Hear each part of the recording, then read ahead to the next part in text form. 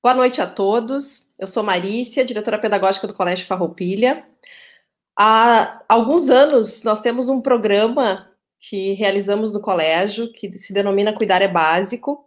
São ciclos de palestras voltadas às áreas de desenvolvimento das crianças e dos adolescentes. Nós tivemos, em função da pandemia, no último mês de maio, nós tivemos uma palestra de fato, nós testamos essa modalidade que sempre aconteceu no modelo presencial, nós testamos no modelo virtual. E pelo sucesso que tivemos no mês de maio, agora estamos enfatizando né, e trazendo, especialmente para os pais da educação infantil, a palestra, uma palestra voltada para a questão do desenvolvimento de crianças de 0 a 6 anos. Então, uh, primeiro quero também deixar, trazer uma, um, uma novidade que nós criamos este, nesses dois últimos dias. Eu acho que todos os pais da educação infantil, ou pelo menos a maioria, já teve conhecimento. Foi uma atividade, um reencontro, né, com todos os cuidados possíveis, um reencontro que ocorreu ontem no estacionamento do colégio, onde as professoras puderam pelo menos matar um pouquinho dessa saudade. Eu quero me solidarizar com todas as mães e os pais de crianças muito pequenas por todo o momento que nós estamos vivendo. Sabemos que essas crianças têm muita energia. Eu tenho conversado com muitas famílias e compartilhado, enfim, são muitas preocupações, pensando já a possibilidade de retorno às aulas, né? Mas também avaliando esse período de pandemia, avaliando tudo que nós estamos desenvolvendo e fazendo na escola para que este momento passe da melhor forma possível, que todos fiquem bem, estejam bem, né? Então sabemos que essa energia é intensa e por isso nós pensamos em trazer nessa noite uma palestra voltada para o desenvolvimento, a importância do desenvolvimento, né? Na área da educação, nós estudamos muito sobre essa primeira infância, que, segundo muitos estudiosos, é a parte mais importante do desenvolvimento de qualquer ser humano. E nós estamos distantes dos nossos alunos. Uh, muitas das questões relacionadas ao desenvolvimento, ah, tira a fralda da criança, uh, tira o bico, nasce o primeiro dentinho, o que, que está comendo, o que, que não está comendo, eram rotinas que nós tínhamos dentro da nossa escola. E nós ajudávamos muito as famílias com relação a essas observações muito peculiares da primeira infância e fazíamos muitas parcerias no sentido de ajudar essa família na melhor condução desse processo. E, infelizmente, com a função do distanciamento social, nós perdemos muito disso, né? Nós estamos auxiliando, sim, continuando mantendo este contato com as famílias, mas o dia a dia não está nas nossas mãos neste momento. Então, por isso, a palestra de hoje à noite. Uh, em seguida, vou passar a palavra para Cleusa e para Nadine, que vão apresentar o nosso palestrante. E já informo a vocês que, na sequência, nós vamos ter nas próximas semanas uh, uma outra fala trazendo uma especialista na área de fonoaudiologia, pensando justamente no desenvolvimento da linguagem, que isso é, é, é, importantíssimo, e a nossa ideia é que nós possamos compartilhar também esses conhecimentos com vocês, tá bem? Desejo a todos uma ótima palestra, vou deixá-los agora, mas na sequência nós podemos voltar a conversar, tá bom? Uma ótima palestra a todos, passo para ti, Cleusa, e para a Nadine. Bom, boa noite a todos. Eu sou a Cleusa Becker, coordenadora da Educação Infantil, e antes de dar continuidade a esse cuidar é básico, eu não posso deixar passar em branco uh, a emoção que foi reencontrar todos vocês, tanto ontem como hoje, no reencontro da educação infantil ali no estacionamento do colégio. A alegria das nossas crianças uh, motivou toda a equipe a querer cada vez mais estar juntinho de vocês. Então, foi um encontro muito importante. Amanhã nós teremos também mais um encontro com as turmas de nível 1 e nível 4. Estamos bem ansiosos e torcendo para que o tempo nos ajude a realizar esse evento. Uh, é com muito prazer, então, que eu agora convido vocês a participarem do encontro de hoje, quando daremos sequência aos nossos momentos de troca com as famílias. Nadine? Boa noite, eu sou a Nadine Cabral, sou psicóloga educacional e junto com a Cleusa eu vou mediar o momento das perguntas, né, que vai acontecer mais no finalzinho da palestra. Uh, nós teremos primeiramente a fala do nosso convidado e os 20 minutos finais serão destinados aos questionamentos. As perguntas vocês podem enviar no chat, tá? Pelo chat que fica do lado direito da tela durante o evento. Uh, uma questão bem importante para ressaltar é que, devido ao tempo, talvez a gente não consiga responder todas as perguntas. Mas, caso vocês tenham necessidade, todos os canais e todas as equipes da escola estão disponíveis para atendê-los. Bom, então eu vou apresentar o nosso convidado de hoje, é o doutor José Paulo Ferreira. Ele é pediatra, médico de adolescentes, mestre em saúde coletiva, com ênfase no desenvolvimento infantil, membro do Comitê de Pediatria do Desenvolvimento e Comportamento e pai de duas meninas. O Dr. José Paulo vai conversar conosco sobre os desafios deste momento e vai trazer informações importantes sobre como apoiar e estimular o desenvolvimento das nossas crianças. Bem-vindo, José Paulo. Obrigado. Boa noite. Então, é um prazer, a gente já teve algumas vezes conversando aí no Farroupilha e nós estamos enfrentando aí uma situação, um desafio novo, que é conversar dessa maneira que eu estou conversando com vocês, vocês estão me assistindo daí espero que a gente consiga fazer uma interação. Então, o chat é importante porque, mais do que eu falar aqui, é vocês irem vendo se o que a gente está conversando está de acordo com a expectativa de vocês e vocês poderem dar um feedback para nós, que é importante. E aí a Cleusa e a Nadine vão monitorando isso e vão me passando né, essas informações. Então, nós estamos metidos numa enrascada aí, que é essa tal de pandemia, que já faz três meses, desde o dia 18 de março. E aí, obviamente, que a gente está preocupado, assim, até porque não vai acabar tão cedo, isso vai pelo menos mais dois meses, que tem uma previsão de que a gente volte à rotina escolar por volta de julho, talvez para a educação infantil, ou talvez agosto. Isso aí vai ter agora dia 15 de junho, né, o governador vai dar, de acordo com o número de casos, vai poder trazer essas informações. Mas isso é uma possibilidade boa de julho estarem voltando para a educação infantil. Então, vocês que são pais de crianças de 0 a 6 anos, o que, que realmente está preocupando vocês? A gente ficou, na, nesses três meses que já se passaram, ficou quase um mês e meio sem atender, até por pedidos na, da própria Associação Médica Brasileira, e depois começou a atender, porque a vida continua e a gente tem que atender os pacientes exatamente não na doença, mas no desenvolvimento infantil e na promoção de saúde. E a gente tem notado e tem está preocupado com isso, com vários aspectos, né, de como ah, foi exposto anteriormente. Antes o colégio podia dar esse suporte que era super interessante, de poder estar tá monitorando e acompanhando o desenvolvimento dessa criança junto com a família, e que agora sobrou só para a família. Né? Não que haja nenhum problema sobrar só para a família, mas não é uma família que está tranquila, uma família que está de bem com a vida, é uma família que está trabalhando, eventualmente está sem funcionário, porque funcionário também não tem que deixar um filho, está em home office, dois filhos trabalhando, estudando no colégio, filhos maiores estão tendo que usar a internet, então está uma bagunça. Então, exatamente por isso que a gente vai conversar. Em tempos de pandemia, como é que fica o desenvolvimento infantil? Então, vamos pegar lá, piazadinha pequena lá, começa com seis meses, um ano, né? Todas as etapas de vida têm seus desafios. Temos seis meses a introdução alimentar, a criança falava nos primeiros dentinhos que surgem, né? a criança começa a caminhar, depois vai lá, começa a falar, tem os seus primeiros contatos com os coleguinhas, que é a interação, que é a socialização, aí vai ter fala, troca de fralda, tem uma montoeira de situações que se dão nesses primeiros anos, que a Cleusa bem frisou, são anos bem importantes. Então, o que, que acontece quais são os riscos que tem essa criança em estando não longe do colégio, mas longe de um convívio social que a gente está meio aprisionadinho. Né? Então, eu queria trazer alguns detalhes para vocês sobre a nossa situação de agora e como é que a gente pode estimular ou ajudar nesse momento os nossos filhos para que eles tenham menos né, interferência nessa situação anômala e que a gente possa, daqui a um mês, um mês e pouquinho, estar tá voltando para nossas rotinas perto do normal porque obviamente ela vai voltar com algumas restrições, mas que as crianças possam voltar a interagir e voltar para o seu primeiro grupo social. Isso é interessante. O primeiro grupo social que a criança tem é a família. Né?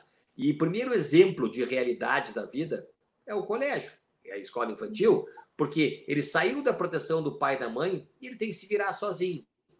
E é super importante essa fase. Né? Tirando a pandemia, vamos supor que a gente esteja numa situação linda, maravilhosa, sem problemas de saúde, e os pais têm condições de deixar a criança até os seis anos com duas babás cuidando. A gente não acha interessante. E já acha interessante que a partir lá do seu ano, ano e pouquinho, a criança já arrume né, para o ambiente escolar, para a educação infantil, para poder ter uma vivência da vida como ela é.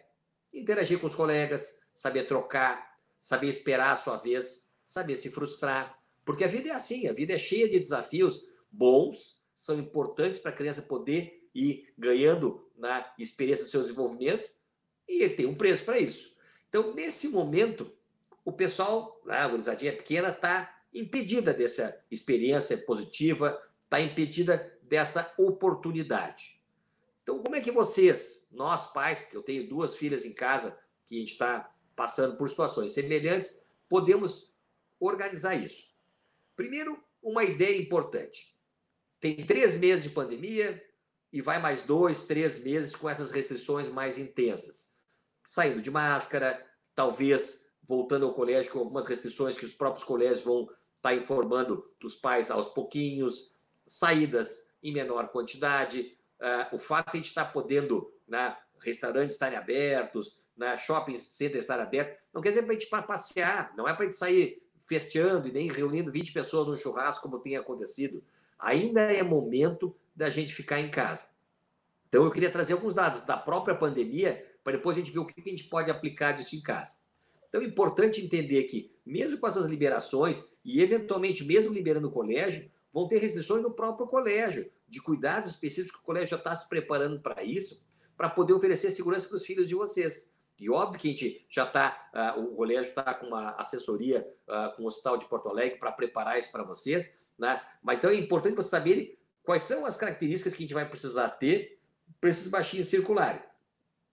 Tem um dado aqui no Rio Grande do Sul que é super importante e que foi dito até pelo secretário Gabardo, que era auxiliar do Mandetta até pouco tempo atrás, que a semana que mais enche o hospital no Rio Grande do Sul nos últimos 15 anos é a chamada Semana Epidemiológica dia, número 27, que divide os, os, as semanas da, do, do, ano, e a 27 semana é em 1 de julho, de 1 a 7 de julho, mais ou menos.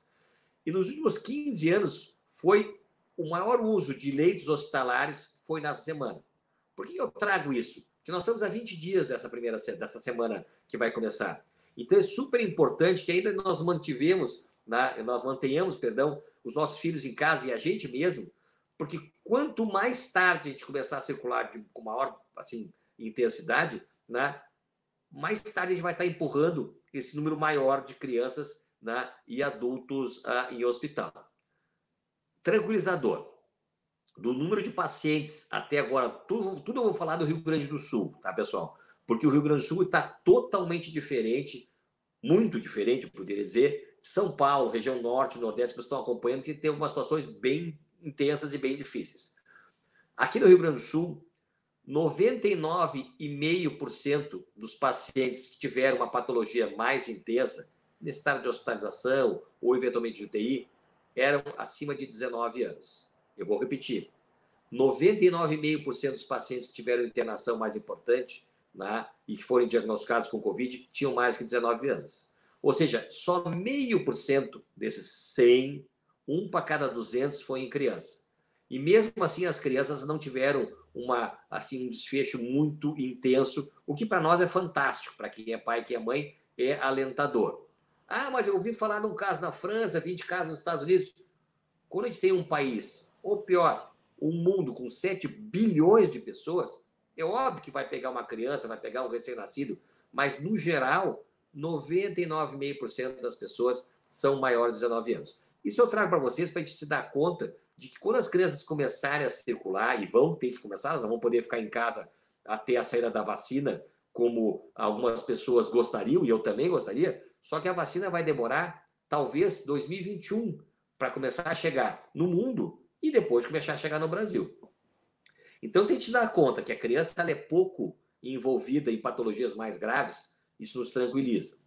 Saiu outro trabalho há pouquinho tempo atrás que mostrava que as crianças né, não foram as grandes né, passadoras de bichinho, como se acreditava. Ah, a criança não pode ter contato com o vô, com a avó, porque a criança é assintomática e vai passar por um monte de gente. Isso não aconteceu no fim da história.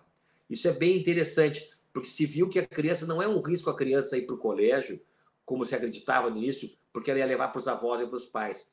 Tanto que em alguns lugares na da Europa, os colégios das crianças, primeiro a abrir, foi as, foram as escolas infantis, porque são as que estão passando menos no fim da história.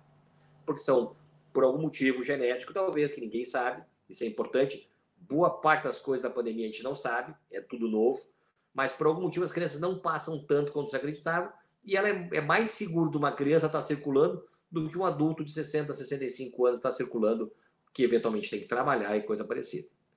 Então, de posse dessas informações de que a gente não tem na criança, no filho da gente, o maior risco, só meio por cento das internações mais importantes, a gente não tem nas crianças aqueles maiores passadores de bichinho, então não são os que mais transmitem, o que nos dá um certo alento e tranquilidade.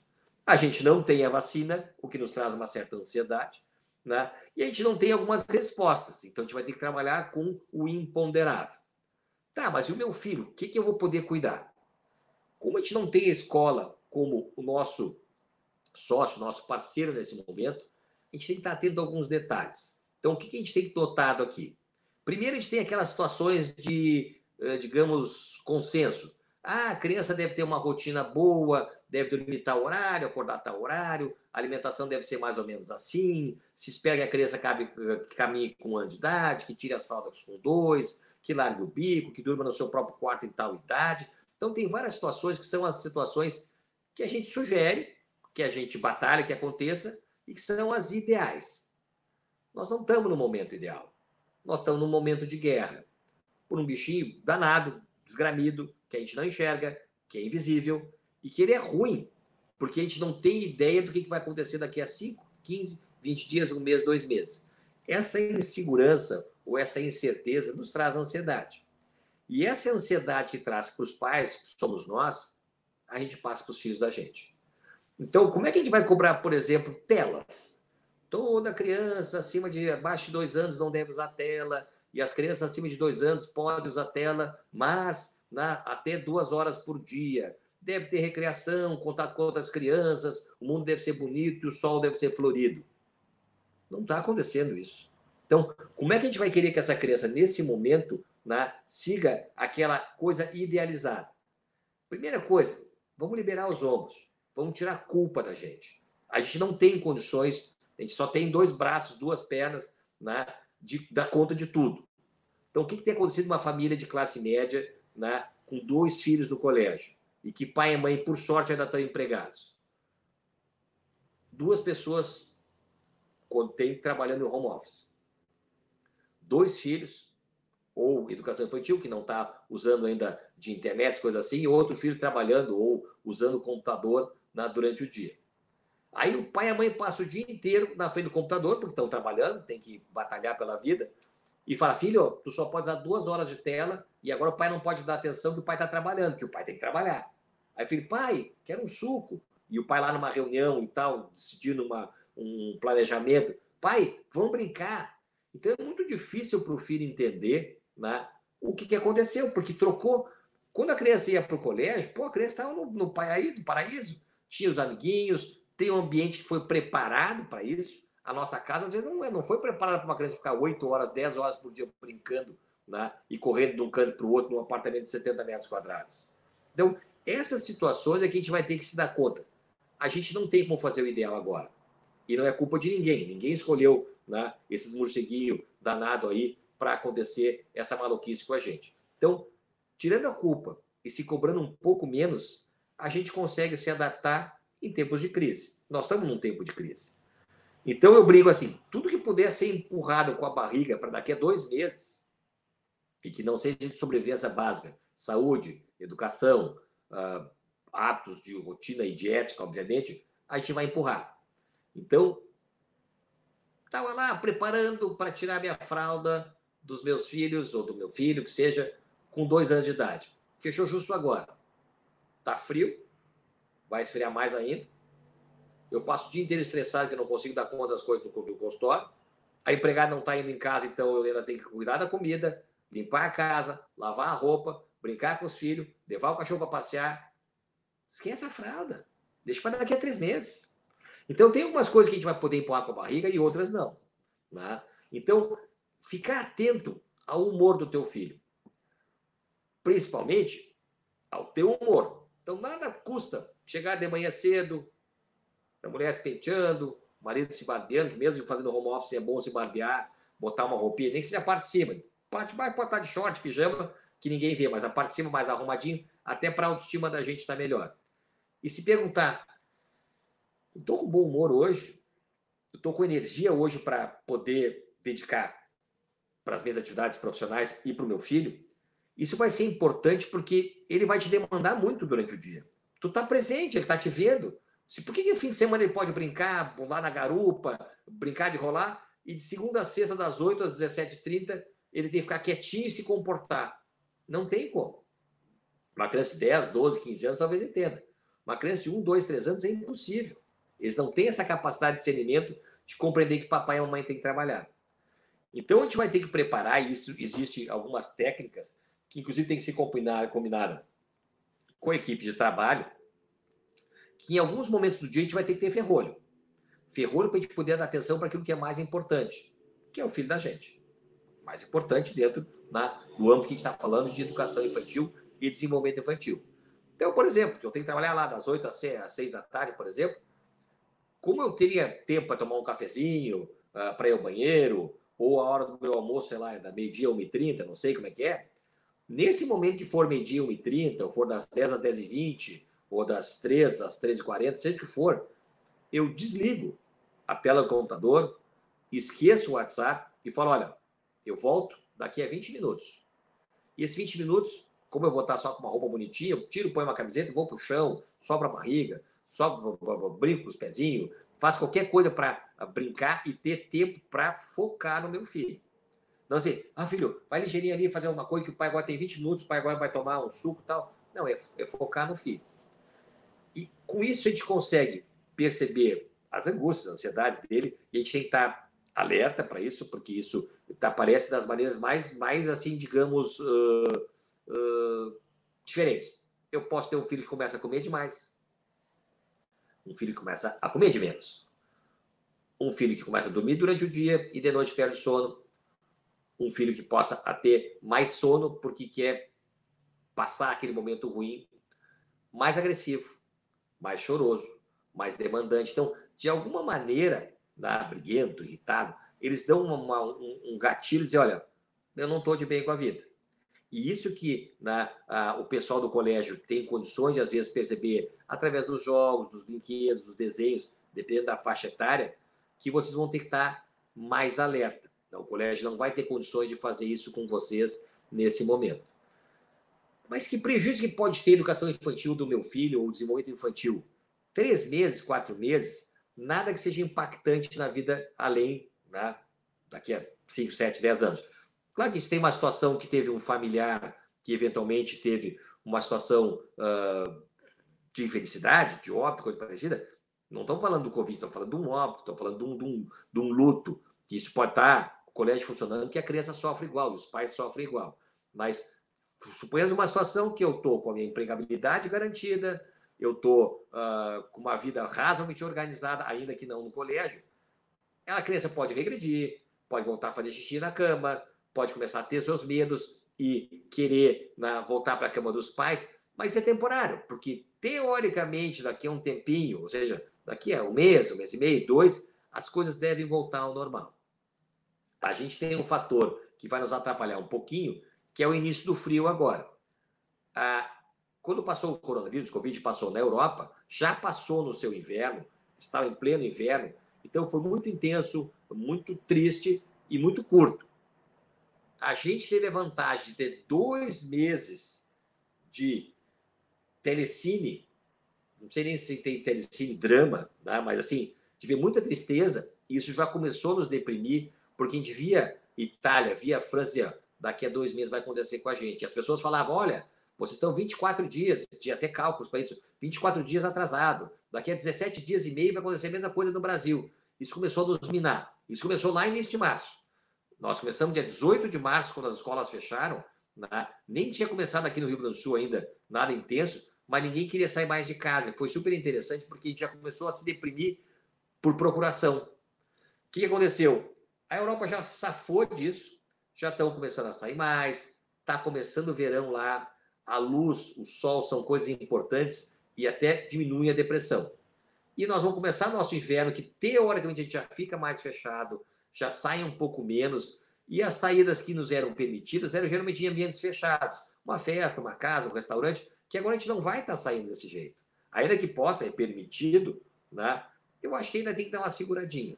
Principalmente até essa porcaria da semana 27 aí, que é início de julho. Pelo menos para garantir que, se caso um de nós, geralmente os pais, não os filhos, precise de algum suporte, tenham recursos para procurar. Então, eu acho que não vai ter muito problema de desenvolvimento infantil nas crianças até 6 anos, se a família tiver com algum equilíbrio emocional dentro do possível, obviamente. De novo, aquela coisa: faremos o possível, não o ideal. Quem busca o ideal, dentro de uma situação de crise, a frustração é garantida, estresse é garantido. O possível, ele é muito mais, assim, dá muito mais segurança, muito mais tranquilizador do que buscar o ideal. Né? Às vezes o bom é inimigo do ótimo. Então, o que, a gente tem que pensar para as crianças? Aquelas coisas que todo mundo já falou, né? É, lavar a mão, cuidar quando sai. A gente acha interessante nos dias bonitos, por exemplo, frios mais bonitos. A questão é para ficar dentro de casa. Hoje eu recebi um paciente aqui de tarde que a criança era a primeira vez que estava saindo de casa desde o dia 18 de março, quando quase as coisas começaram a fechar. Então ela ficou sem sair de casa dois meses e meio.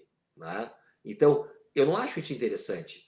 A criança não precisa ir para shopping, a criança não precisa ir para reunir cinco amiguinhos para jogar bola, eu acho que não é interessante isso, mas sair de máscara, crianças maiores de dois anos, a gente já vai conversar sobre isso, dar uma voltinha com o cachorro, ou dar uma volta com o pai ou com a mãe na quadra, não é ir para o parcão, não é ir para gasômetro, não é para praça da Encol, né? é para dar uma, dar uma desopilada, carregar as baterias, isso é super importante. Então, quando a gente fala da questão da rotina, que é importante tanto para os pais do que é possível, como para as crianças. Então, combinar. Gurizada, assim, ó, entramos numa fria aqui, tá? Pai e mãe vão trabalhar em casa, né? Vocês dois vão ficar, um ou dois filhos, né? Vão ficar em casa também, porque ainda que tem algumas atividades que o colégio manda, uh, algumas atividades de vídeo, ou como esse teve ontem, do drive-thru ali na, no Farroupilha, né? que são bem, coisas bem legais, a grande maioria do tempo a gente está em casa. Então, nos momentos que é para brincar, a gente desliga celulares, tablets, televisão e brinca. Né? Outra coisa que a gente acha interessante, como tem essas notícias de, dos jornais, não tem notícia boa, é só tragédia. Morreu aqui, morreu ali, não tem leito, e as crianças vão absorvendo isso, elas vão ouvindo. Então, se o pai e a mãe quer ver uma notícia, quer ver como é que está a situação que é importante, ou busca no celular, ou assiste com fone de ouvido, mas tirar a criança, a criança não precisa ficar vendo tragédia. Já chega, nós já temos tragédia suficiente. A criança precisa de pais o mais seguro possíveis, atentos, mesmo dentro do seu estresse. A gente vai ter que ter dois ou três momentos no dia que a gente vai desligar do trabalho e vai pedir, ó, chefe, eu preciso de 20 minutos que agora é a hora de eu estar lá com meu filho, ou botando para deitar o soninho do meio da tarde, ou e agora é a hora de eu fazer o lanche com ele, ou é a hora do meu almoço com a minha família. Porque as, as empresas sabem, né? mas eu já tive relatos de empresas que o cara está ligado 24 horas no, no celular. Né? Então, o que era para ser facilitador para a família, às vezes ficou mais interessante para a empresa do que para a família. O cara ficou o dia inteiro, seis e meia da manhã já está respondendo e-mail, porque tem fuso horário, dependendo da empresa, trabalha com outros na, uh, fusos horários. Então, a gente tem que cuidar disso aí. Então, a gente tem que preservar o espaço da família. Das dúvidas de vocês, não das de vocês, mas que tem chegado aqui para o consultório, primeiro assim, por que minha criança tem que usar máscara, afinal? Afinal, vai ter, se quando voltar para o colégio, vai ter que ir de máscara. Então, a recomendação assim, crianças acima de dois anos, que já tenham habilidade, já tenham a facilidade de usar máscara, né, devem usar máscara. Abaixo de um ano de idade, ou crianças que se atrapalham por algum motivo, vão ficar sem máscara. E lembrando que a chance de uma criança de dois, três anos ficar de máscara o dia inteiro é pequena. Então, até isso vai ter que ser planejado para quando ficar sem máscara, ter menos gente circulando. Isso Obviamente não em casa, mas quando a criança sai na rua. Criança que não pode usar máscara por algum motivo, os dois pais têm que estar sempre de máscara, porque a gente está, ao usar máscara, está protegendo os nossos filhos. Então isso é importante e vai valer por um bom tempo aqui no Brasil. Né? Tive uma surpresa, a gente tem feito essas telemedicinas, falei com um paciente que eu tenho, que está morando agora na Inglaterra há dois anos, e que está retornando agora dia 16 de junho, eles retornam à educação infantil, e a mãe está com preocupações, assim como vocês estão, E aí eu falei, não, mas é fácil, sai, né? vai sair de máscara, não tem problema. Não estamos usando máscara aqui na Inglaterra. Pouca gente usa. Então, tem muitas coisas que são culturais que a gente está tendo. A gente nunca usou máscara, mas vai passar a usar por um tempo, até essas coisas se tranquilizarem. Que provavelmente vai lá ser setembro, outubro, novembro, quando começar a esquentar. Então a gente vai carregar um pouquinho disso aí. Quando a gente tem confinamento, que é essa situação de ficar quatro, cinco, seis pessoas da família né, confinados, que a gente tem? A gente tem estresse. Estresse, por mais que a gente ame o filho da gente, por mais que o filho da gente ame a gente, né, excesso de contato que a gente não estava acostumado gera algum tipo de ruído. Então, de novo, tirar o peso do ombro, relaxar e relevar várias coisas respostas, querer dormir de novo com os pais, uso de telas um pouco mais do que a gente gostaria, não querer comer ou comer mais porcaria do que a gente gostaria. Então, óbvio que não é liberalidade. Ah, pode tudo, pode comer batata frita com Coca-Cola na hora do almoço. Não. Mas a gente vai ver que, de alguma maneira, as crianças vão lidar com essa frustração. Se eu estou falando com uma criança que está triste ou deprimida, ou mesmo um, nós estamos falando de casais aí, se um do, um do, do, do casal está deprimido e o outro está percebendo, a gente buscar algum tipo de ajuda, que às vezes pode ser um familiar, alguém que possa vir dar uma ajuda em casa, porque tem algumas pessoas que estão sofrendo um pouco mais intensamente que outros, principalmente as pessoas que estão ou com problema de emprego ou com problema nas suas próprias empresas. Então a gente já falou que organizar o home office, explicar para as crianças que não é férias e que a gente tem situação que a gente tem que organizar, que eventualmente pai e mãe vão estar chateados e vão estar tristes e vão estar cansados. Explicar, filhote, eu te amo de paixão, mas hoje o pai, hoje o pai está bem cansado, bem sem paciência. Então, se o pai por acaso falar uma coisa que te chatear, o pai já pede desculpa de início. Não é o que o pai quer, mas hoje o pai está, tá, o consultório está cheio ou, ou a empresa está cheia. Mas do que puder liberar, tomar um banho para dar uma relaxada, vai lá e enche o baixinho ou a baixinha de beijo. Para mostrar assim, eu tenho minhas limitações, eu não sou perfeito, mas eu continuo podendo te amar e podendo te dar a segurança que tu também está precisando. Eu preciso da minha para poder gerenciar a casa, eu, pai ou mãe, e vocês estão precisando ter o pai e mãe seguros para poder dar a segurança que vocês precisam. Então, essa é a atenção que a gente vai ter que ter, vai estar um pouquinho mais ligado. As questões, por exemplo, que muitas mães têm perguntado, como a gente está teoricamente circulando menos, circulando menos não é ficar de castigo, que nem esse meu paciente que saiu não sair durante dois meses, isso é ruim para a criança. Ah, mas as consultas de supervisão de saúde, aquelas consultas de puricultura, eu estou com uma criança de seis meses, quatro meses. No início, os primeiros 45 dias, a gente sugeriu não sair. A gente não sabia como é que a pandemia ia se comportar, não sabia como o Rio Grande do Sul ia se comportar. À medida que começaram algumas coisas a ficar um pouco mais claras, que o Rio Grande do Sul se mostrou um estado mais organizado, com a menor circulação de gente, a gente voltou a abrir nossos consultórios, né? e voltou a orientar que as pessoas voltem a fazer as consultas. Óbvio que se a criança está doente, ninguém vai perguntar, até que está todo mundo mais estressado com isso. Mas voltem a fazer as suas consultas de revisão, de supervisão de saúde. Porque exatamente essa questão de que se observa no colégio, que agora vocês estão sem esse suporte, o pediatra também pode acompanhar. Fala, a questão do bico, da fralda, do sono, tudo que a gente está conversando agora, um pediatra com uma boa capacidade na percepção tem condições de ajudar vocês nesse momento de maior crise. Então é importante aos pouquinhos ir voltando. Né? A maioria dos pediatras está marcando consultas mais espaçadas. Então pergunte se o seu pediatra já se adequou né, à situação da, da do, do, do Covid-19. Então, consultas mais espaçadas, evitar aglomeração para um paciente não cruzar com o outro, para poder consultar com segurança. A mesma coisa vale para as vacinas.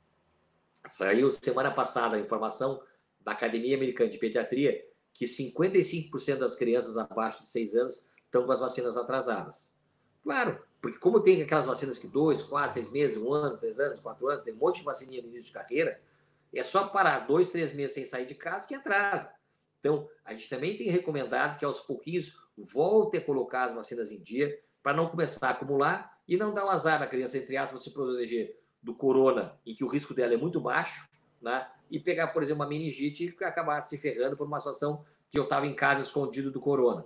Então, eles passam por baixo da porta. Então, não adianta também ficar em casa escondido, a não ser que a gente tivesse aquela história do menino bolha, que fica escondido em casa sem sair, que é uma tristeza do campo. Né? Então, essas situações da consulta, a situação da vacina, colocar em dia. A questão de circulação, por exemplo, que surgiu hoje de tarde uma pergunta, ah, mas então, afinal, eu posso visitar o avô e a avó? Né?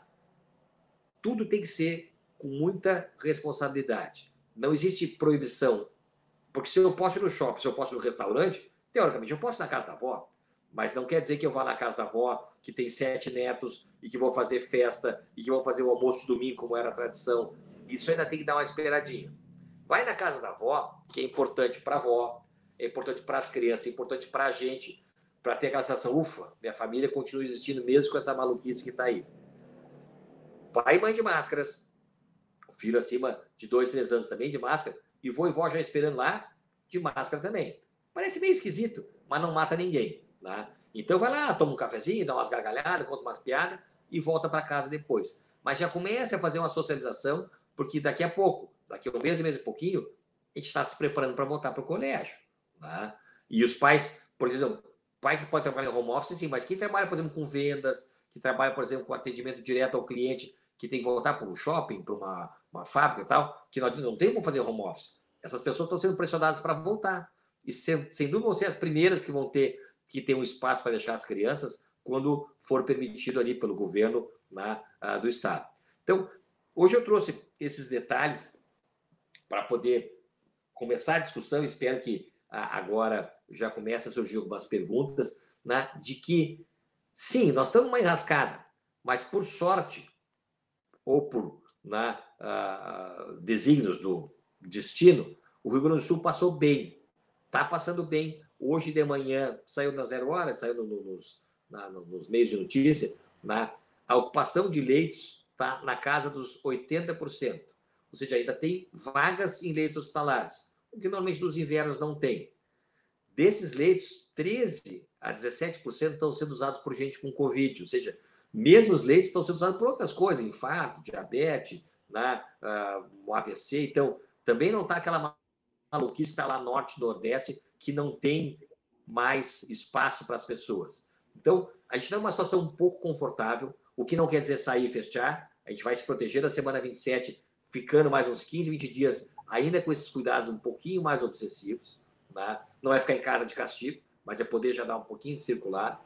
Né? E entender que, se a gente se comportar bem, continuar fazendo nosso tema de casa, que é sair o mínimo necessário, a gente vai estar talvez preparado para julho ou agosto poder já planejar um retorno ao colégio com segurança, né? talvez já passado esse o parte do inverno pior que agora, fim de junho, início de julho, para a gente poder ter mais tranquilidade. Eu estou vendo a Cleusa e a Nadine surgir ali, vão ver que tem ah, dúvidas ou coisa que nos chame a atenção aí. Zé Paulo, é muito bom te ouvir. Né? Eu acho que nos tranquiliza como pais, como educadores, essa tua frase de liberar os ombros e tirar um pouco a culpa, eu acho que nos, nos sensibiliza, né, e nos conecta com as crianças muito mais. Eu acho que a culpa ela acaba nos deixando muito mais distantes do que próximos da criança. Né? Então, te ouvir sempre é, é bom, né? acalenta o nosso coração. Ah, as perguntas elas foram surgindo ao longo da semana nos nossos stories do, do Instagram. Então, vou para a primeira pergunta, tá? Tá. Uh, que é com relação ao uso do bico, que é, é, é, algo muito do nosso cotidiano e essa pergunta ela se relaciona muito com a escola, tá? Uh, na quarentena, vejo que a minha filha ficou muito mais dependente do bico. Na escola, ela aceitava a combinação de deixar na mochila. Em casa, ela não aceita. Ela tem dois anos e meio. Tiro agora, a dentista já me orientou que sim. Eu tinha trazido algumas questões sobre isso, mas queria que tu aprofundasse um pouquinho mais.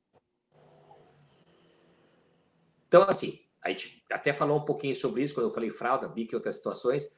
Né? Em situações de conflito, situações de estresse, a retirada do bico, ela, a gente vai ter que tirar a criança da zona de conforto para proporcionar que ela possa ter um crescimentinho, ou seja, para que ela possa amadurecer um pouco mais do ponto de vista de desenvolvimento infantil. Eu não acho que é o momento agora, porque nós não estamos falando assim tirar o bico, a criança está com dois anos e meio, esse uh, exemplo que a Nadine trouxe. Não estou falando tirar com cinco anos, estou falando daqui a três meses, quatro meses. Porque tu imagina que para tirar o bico de uma criança, e eu tenho uma situação clássica que foi em casa, a minha filha com dois anos e meio, sabia que eu detestava bico, e eu achava, botava, eu chegava em casa, botava seis bicos na boca, meu tinha, parecia aquela Meg do Simpson, que ficava. Era um troço horroroso, eu tinha uma raiva daquilo, e ela fazia para provocar. Aí um dia eu decidi, contra todos, contra a filha, contra as duas vós, a empregada, a cachorra, o vizinho, que eu ia tirar o bico dela. Ah, não vai conseguir, porque coitadinha, porque pobrezinha. Eu levei 21 dias dormindo sentado ao lado dela, porque eu prometi que eu ia tranquilizar ela. No décimo dia, até achei que pediatria era uma bobagem, que não dava mais. E eu comecei a, ah, vou desistir, azar, depois ponho um aparelho nos dentes. Mas eu tive coragem, acreditei no que eu fazia. E o dente dela já estava, parecia aquelas ferrovia, tudo aberto assim, voltou tudo para o lugar. Mas eu levei 21 dias dormindo sentado. Que pai e mãe vai ter condições de fazer uma situação, uma embretada dessa nesse momento? Esquece. Vai tirar o bico? Vai. Ah, mas é que no colégio ela tira. No colégio ela tem outras combinações, as outras regras, são outras situações em que ela aceita, porque em casa ela pode chutar a canela da mãe e pedir um beijo. No colégio ela não vai fazer isso. São diferentes. O ambiente de casa é o ambiente onde ela mais testa a gente. Se eu fosse vocês, não tem uma situação, ah, uma criança de 5 anos, tudo bem, mas nós estamos falando de criança de 2 anos e pouco. Deixa para daqui a 3, 4 meses, sem estresse nenhum e sem nada no ombro. Zé Paulo, nós temos um questionamento em relação ao sono, tá? Então, meu filho tem cinco anos e tem acordado a noite toda, a partir da pandemia, né? Me chama e pede para dormir no meu quarto, junto comigo e com meu marido. É fase, é quarentena, já nem sei o que fazer. É fácil, eu também não sei o que fazer, porque imagina assim, né, uma situação de que a criança já dormia. Com cinco anos, a criança eu não tenho mais dados, mas provavelmente já dormia no quarto, já estava sozinho e por algum motivo trocou. Então, se a gente for ver pelo olhar dessa criança, o que ela está demonstrando? Eu estou insegura. Insegura por os meus pais estão de bem com a vida? Será que naqueles tantos que morrem vai incluir algum familiar meu, meu pai, minha mãe, meu avô? Eu não sei. Dizem que eu não posso visitar meu avô, meu avó, porque os velhinhos têm mais risco de morrer. Então, é muito difícil para uma criança lidar com uma situação dessa. Então, claro que se o pai e a mãe tiverem energia, o ideal é dizer assim, filhão, pai e a mãe estão contigo aqui, né? eu vou te ajudar a dormir, vou voltar contigo para dormir na caminha, tá tudo bem, nós estamos passando por uma situação que está bem atrapalhada, complicada, mas está todo mundo, se for a realidade, né? Tá todo mundo bem em casa, tá todo mundo com saúde, mesmo que a gente não tenha o poder de poder ler né, o futuro, de fazer não vai acontecer nada com a gente, porque eu posso estar bem aqui, posso ir para casa hoje, meu carro bater e eu amanhã não existo mais. Mas não vou dizer todo dia meu filho, ó oh, filho, o pai está voltando do consultório, mas caso o carro do pai bata e eu morra, eu amo vocês. Não. A gente deixa para que a vida diga isso para eles. Então, se a gente puder garantir, não é mentir. Né? Se eu estou lá, por exemplo, com um pai uma mãe com câncer e tal, ah, filho, vai dar tudo certo, não vai acontecer nada. Isso é mentir, porque a gente sabe que existe um risco iminente. Mas se os pais estão com saúde, poder passar, filhão, fica tranquilo que nós estamos contigo aqui. Nós estamos bem, essa é uma situação que está acontecendo com o mundo inteiro. Parar de assistir aí, começar a ver se a criança está vendo isso por vídeo, está assistindo Jornal Nacional ou as porcaria que, tão, que é só tragédia, que tu torce assim, sai sangue.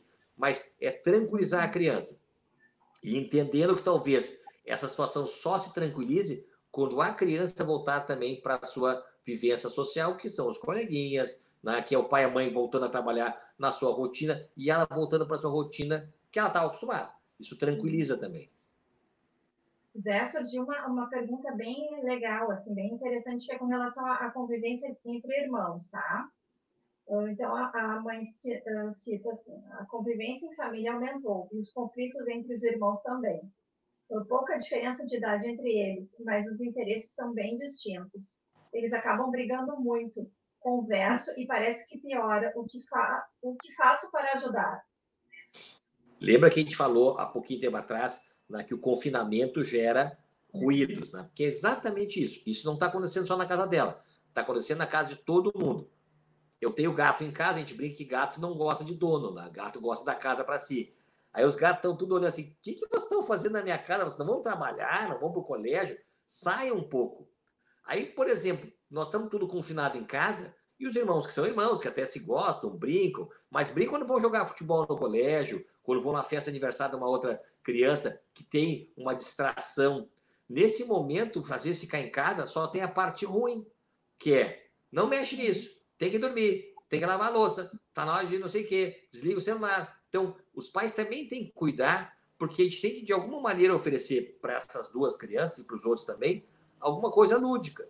E lúdico não é assistir televisão, porque o tele, televisão, a gente briga que é um hipnotizador ah, ah, por controle remoto. Ele distrai a gente, a gente empurra com a barriga. Mas lúdico é provocar, por exemplo, uma situação que a criança possa criar, uma brincadeira de um jogo de tabuleiro. Isso, infelizmente, que é o quê? Requer tempo dos pais, mas é bem importante. Então, por exemplo, brincadeira de piada, jogo de adivinhação, né? Ah, brincar com alguma coisa que a criança tenha que exercer alguma criação, alguma capacidade de troca, que não é o celular, que não é a televisão, porque a criança só recebendo, isso aí também é muito monótono. E se essas duas crianças que são de idade parecida, mas que têm interesses diferentes, eu sei que é difícil, mas pai e mãe podem pegar, um gosta mais, sei lá, de jogar xadrez e o outro gosta mais de desenhar. E pai e mãe dão uma divididinha e afastar esses dois e criar zonas de, digamos assim, de atividade para cada um é mais difícil porque tem que ter pelo menos os dois pais atuando em cima, né? Zé Paulo, bem nessa linha né, que tu estás trazendo, tem questionamento também em relação ao tempo na TV, nas telas, para as crianças tão pequenas, assim, a gente sabe que tem uma orientação também, né, da Sociedade de Pediatria, a gente queria que tu pudesse trazer um pouquinho esse assunto. É, a gente falou ali no início que, assim, por exemplo, a orientação da Academia Americana da Sociedade de Pediatria é que crianças abaixo de dois anos não use tela. Nada, nenhum tipo de tela. Né? Não é assistir televisão com os pais, mas criança não ficar de posta da sua tela, do seu iPad, do seu computador, do seu celular, né? ou do celular de um familiar. E criança acima de dois anos use só duas horas de tela. Que nos dias atuais, que pai e mãe estão oito horas grudado no computador, é a mesma coisa de dizer assim, ó, filho, não mexe nisso, mas o pai pode. Ah, porque o pai trabalha, porque a mãe não sei o quê. É difícil para a criança compreender isso. O que não vai dizer que vai ficar todo o tempo na tela, mas aí, de novo, que é o que está mais faltando para a gente, que é energia e tempo, a gente tem que, para a criança sair da tela, tu tem que propor para ela uma coisa sedutora, uma coisa divertida. Filho, larga isso aí, vai fazer outra coisa. Vai brincar com teus carrinhos no quarto. Uhum. Às vezes é sorte ter irmão, porque ele pega lá um irmão, pode brincar com o outro. Não no caso esse que os dois estão se batendo na, de, de frente. Né? Hoje eu recebi aqui também dois crianças que brincavam, brincavam, brincavam. Agora um está com 13 e outro está com 10. Um continua criança virou adolescente. Aí o, o adolescente já, tá aí, teu irmão. Eu, se puder ficar longe dele, fico o máximo que eu posso. Né? Chegou uma época que agora as duas, as duas idades se separaram. Aí o Pia que brincava a vida inteira, talvez seja o caso desses dois que agora estão vivendo e conflitando, os pais têm que arranjar uma solução. Né? E arranjar uma solução não é porque os pais estejam errados, é que os pais são a única maneira dessas crianças se safarem numa situação de estresse. Né? Então, tela sim, eles vão usar mais do que as duas horas, com uhum. certeza vão usar, mas em algum momento, e aí eu tenho sugestões para dizer assim, ó, tem livros de piada, por exemplo, tá? Então, por exemplo, a família se reúne na sala lá, apaga a televisão, desliga o celular e vai. Ah, conta a piada do passarinho e tal, do, do, do, do morcego, que é a piada do morcego que eu gosto de contar, né? Ah, por exemplo, um livro de charada tem lá com, com, com, idades, todas as idades que tem. Então a família tem que buscar essas coisas, né? Banco imobiliário, banco imobiliário é ótimo. Começa a jogar hoje, acaba a semana que vem, o pai fica demitido, né? Mas tem, tem várias alternativas, mas que requer tempo.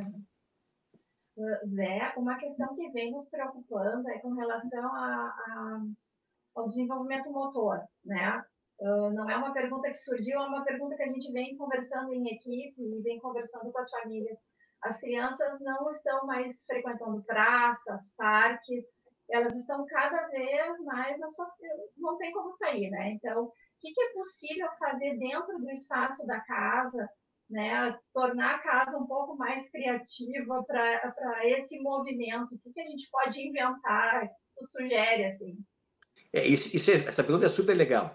Saiu agora uma reportagem um mês atrás da Zero Hora. Eu falo Zero Hora porque é o jornal que, que vem na cabeça. Uhum. Mas a gente fez uma matéria sobre uh, como criar situações, na época a gente não estava nem saindo de casa, de criar circuitos internos dentro da, da, da, da família, tá? da, da, casa. E, obviamente, a gente precisa de uma casa com um pouquinho mais de espaço. E aí teve um, um cara, um pai americano, que marcou a casa dele. Era uma casa que não era grande. A casa dele com aquelas fitas uh, coloridas assim, que o ah. Piazinho, o Piazinho dois anos seguia, tinha que pular almofada, passar embaixo da cadeira, rastejava em cima da mesa, né? Ah, ia no sofá, ia brincar. Então, tu olhava aquilo ali, tu te divertia só vendo a criança. Claro que é um pai criativo, que requer um pouco de tempo, mas se a gente puder lembrar do tempo de criança, nosso tempo de criança, a gente não tinha televisão, a minha televisão era das, sei lá, das 10 às 10 da noite, tinha quatro canais.